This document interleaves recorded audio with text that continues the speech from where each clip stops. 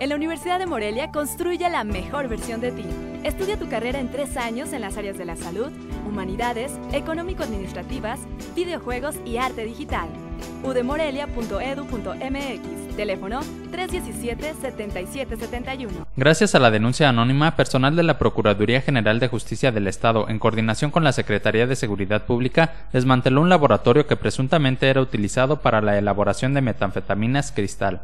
Esta acción tuvo lugar en las inmediaciones de la comunidad de Triguillos del municipio de Charo, en donde de acuerdo a las denuncias se reportó movimiento de un grupo de personas armadas. Personal de la PGJE y la SSP implementó un recorrido por la zona y logró ubicar una finca deshabitada en la que fue localizada una bodega donde se encontraron tambos y bultos que contenían precursores químicos tales como metilamina, sosa cáustica, ácido tartárico o carbonato, mercurio, perfume y ácido sulfúrico, sustancias que son utilizadas para la elaboración de droga sintética. También fueron descubiertos paquetes de aluminio, reactores, cilindros de gas, un tambo de chilillo y serpentinas, mascarillas, tinas, ollas y dos cilindros de oxígeno, además de hierba verde con las características propias de la marihuana. Sobre estos hechos, el agente del Ministerio Público Investigador, apoyado de personal de servicios periciales, realizó las primeras actuaciones, mismas que serán remitidas a la Procuraduría General de la República para continuar con las investigaciones correspondientes. Con información de Carlos Machorro, informa Quasar TV.